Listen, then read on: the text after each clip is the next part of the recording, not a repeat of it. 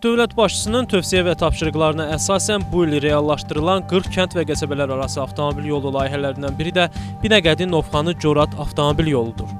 14 kilometr uzunluğunda olan avtomobil yolunun 6 kilometrlik Binəqədi Novxanı hissəsinin yenidən qurulması işləri yekunlaşmaq üzrədir. Hazırda sözgedən hissəyə asfaltbeton örtüyünün sonuncu qatının döşənməsi işləri aparılır ki, bu işlər də artıq bitmək üzrədir. Ümumilikdə yolun 170 min kvadrat metr sahəsinə 2 qat olmaqla yeni asfaltbeton örtüyü döşənəcək. Qeyd olunan ərazinin Binəqədi qəsəbəsindən keçən 1,1 kilometrlik hissəsində 1,5 metr enində yeni piyada səkiləri inşa edilib, yeni səki daşları düzülüb və işıq dirəkləri quraşdırılıb.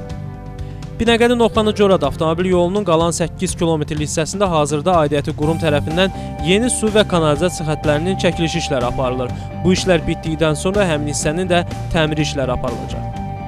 Binəqədi Novxanı Corad avtomobil yolunun mövcud eni 7-9 metr arası dəyişirdi. Layihəyə uyğun olaraq yol 12 metrə qədər genişləndirilib. Yol 2 gediş, 2 gəliş olmaqla 4 hərəkət zolağından ibarət olacaq.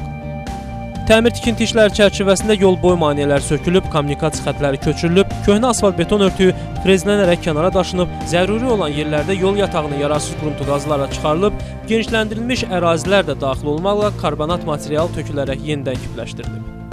Bundan başqa Novxanı qəsəbəsində yerləşən dəmir yolu və su kanalı üzərində yerləşən mövcud körpülərin əsaslı şəkildə təmir edilərək 7 metrdən 12,5 metrə qədər genişləndirilməsi və kommunikasiya xəttlərinin yolun altından keçirilməsi üçün 5 yerdə xüsusi boruların quraşdırılması da nəzərdə tutulub.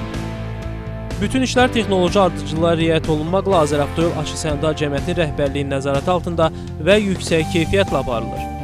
Qeyd edək ki, sözgedən avtomobil yolu uzun müddət təmir olunmadığı üçün deformasiyaya uğramış və dağılmış hissələr yaranmışdı.